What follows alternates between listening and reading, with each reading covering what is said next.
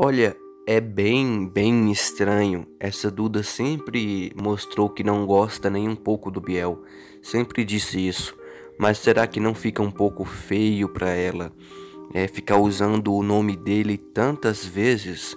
Essa notícia que eu vou mostrar aí, ela é praticamente de um dia atrás.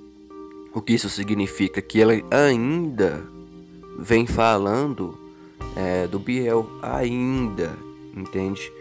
Ela percebeu que falar o nome do Biel talvez deu a ela uma visibilidade maior, né?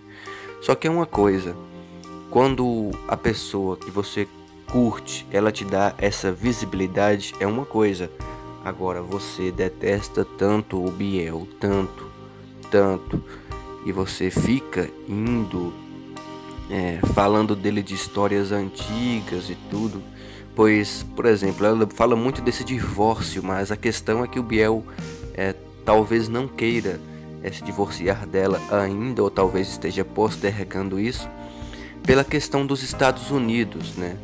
É, sobre a questão do visto também.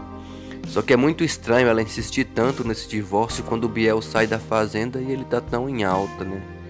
Essa é uma questão que fica um pouco estranha, é o que eu tô dizendo.